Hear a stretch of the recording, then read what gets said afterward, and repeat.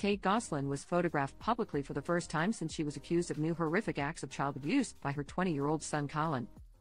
In one snapshot, the mother of eight was spotted grinning widely while holding a tub of cookies.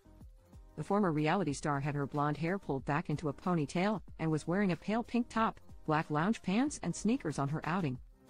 Another photo revealed Kate holding a small baby while speaking with another woman who was dressed all in black.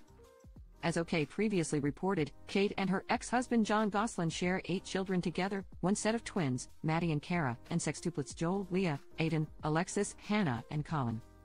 Their hit TLC show, Jon and Kate Plus 8, premiered in early 2007, but by 2009 the couple announced they were getting a divorce and the show was rebranded to Kate Plus 8.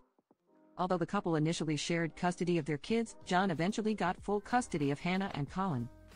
Over the past year, Collin has made a number of allegations about his mother's alleged mistreatment of him as a child, from keeping him from spending time with his siblings to committing him to an inpatient medical facility for two years. Most recently, he alleged his mother zip tied his limbs together and bolt locked him in a basement where she supposedly left him for hours as punishment. My mother would put me in that room multiple times. Turned the lights off and had cameras there just watching me, he said at the time. Most of the day I was in that room and I was away from my siblings, and I never really went outside. I never played with them. I was kept there. It was literally containment. Kate has not publicly spoken out about the latest allegations.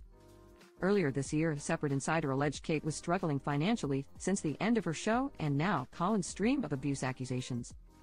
She's hurting for money and facing the very real possibility of having to sell her house in North Carolina, the insider said, noting that she had reportedly even been hoping for a new reality series, but doors aren't opening for her. The feeling is if she were a nicer person, nice things would come her way, but she's not and karma's kicking her in the butt, the insider concluded.